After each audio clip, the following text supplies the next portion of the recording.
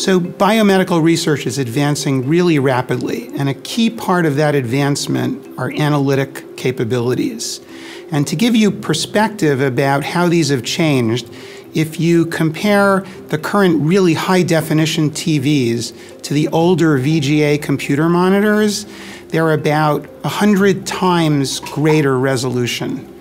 And yet, analytical tools, for example, mass spectrometry is, is a very important analytical tool, have increased their resolution by thousands of times. There are all kinds of tools to measure how the proteins fold in three dimensional space, some direct and indirect. These are very, very powerful and sensitive tools to measure the products that we're evaluating.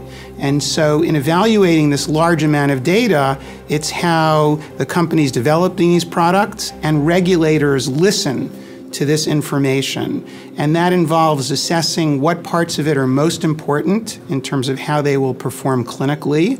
Um, and usually there are tools like risk assessments in order to really prioritize how you look at it. So you look at all the information, but you really focus on the parts that really matter the most to the patient part of a biosimilar application will actually be a direct comparison between the biosimilar proposed product and the reference product. And then that will involve very, very careful characterization of the reference product, sort of ranking the importance of different attributes of that molecule, and then comparing them using these sophisticated tools.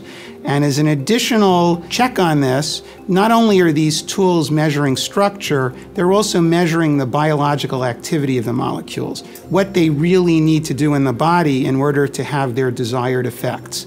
And so these analytical tools support the comparability, the similarity um, of the molecules, but also can help answer questions. If there's a small difference, they can help determine whether or not that difference really will matter to the patient and will impact the assessment of the similarity. So, the law that allows biosimilar development talks about three types of data. It talks about analytical data, it talks about animal data, and it talks about one or more clinical studies. And so, those are generally needed, although there's the ability to waive one of those um, should they be not be needed, and in some sense, more importantly, that the type of data that's brought in each of those categories may differ.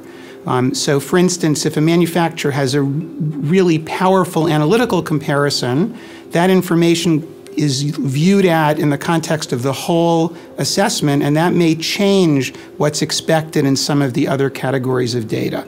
So, a concept of totality of evidence that it's not there's a fixed amount in each bucket that's needed, but it's that overall information about whether this molecule is truly biosimilar to the reference product.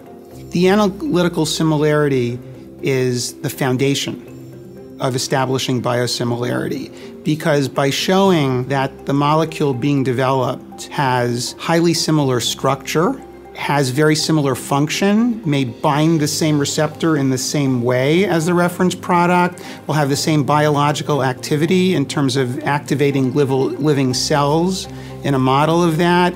All those things together really give you the starting point that the biosimilar candidate will act the same way as the reference product in patients. And the remainder of the development involves studies that confirm that. But that analytical piece really sets the stage for biosimilarity.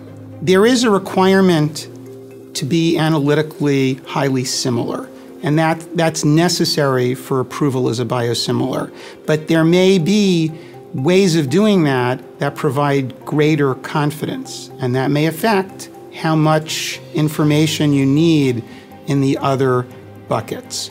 And there also may be, you know, other differences in how companies make their case, and we certainly want to be flexible as long as there's evidence that this product is biosimilar, meets the requirements, there may be different ways of doing that. So I think one of the things that's exciting is as these technologies get better and better, I think that will really facilitate the development of these products in the most efficient ways possible. And that will really help access to medicines by patients. So we really have to look to not only what, what can happen now, but in fact, there's a brighter future for this type of product.